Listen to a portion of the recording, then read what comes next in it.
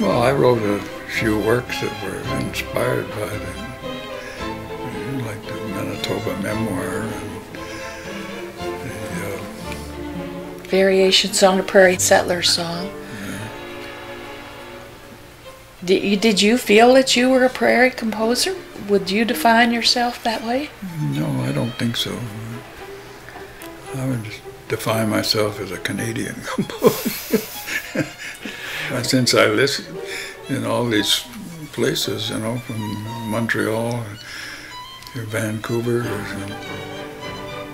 to uh, spent uh, several months in Toronto in the war and, and then down in Nova Scotia.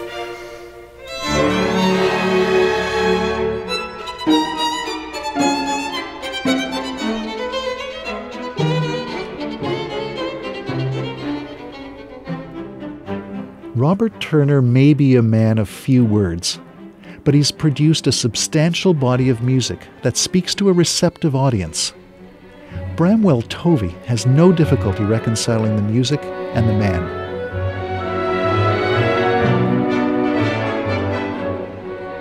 Music as a language, it takes over where words uh, cease to function well, cease to function properly. Shakespeare's plays uh, uh, go to song, go to music when they reach uh, climactic moments. Even Shakespeare doesn't try to express what only music can can express. And in Bob's case, I think he does only articulate certain facets of his personality through um, his music. The Third Symphony, for instance, has a bright, sunny, and vigorous aspect that just uh, isn't immediately apparent when you meet Bob um, quietly. He does have quite a sense of humor, and he's he can be very uh, droll. But um, as one of my professors said at university, uh, he's the sort of chap who uses one word where 25 will do. He'll never use too many words in a sentence. He'll always concentrate on a on the central idea that he wants to talk about. And I think some people can be um, uh, frustrated or dismissive of of such expression, but uh, in his music, I think he he really does uh, extend um, an invitation to us to uh, listen to his more expressive outlook.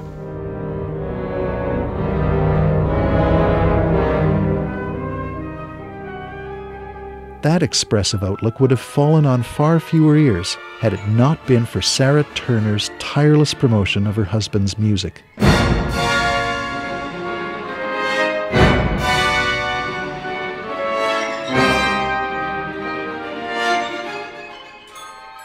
Sara, I think, for many years was like Bob's agent.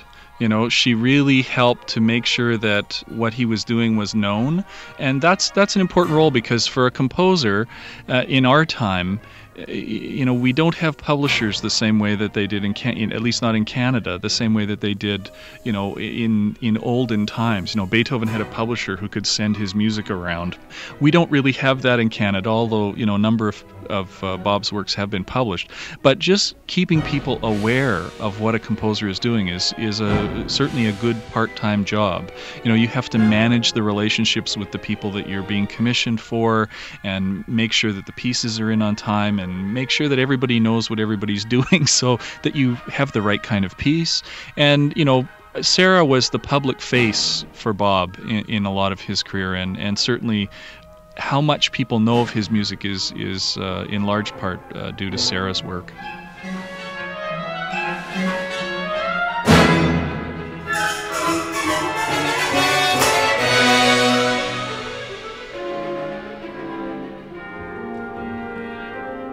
He never sought out someone to encourage them to do his music. They did it because they really like it and audiences like it. So he has been remarkably successful when you consider that he was not pushing his work.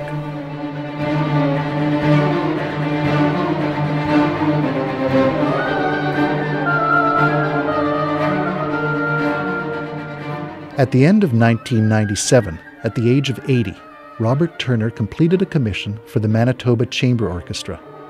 He called the work Diverta Divertimento. He worked in a song he'd composed at the age of 14, along with the thoughts, people, travels, music, art, books, successes and failures encountered in over 50 years of creative work.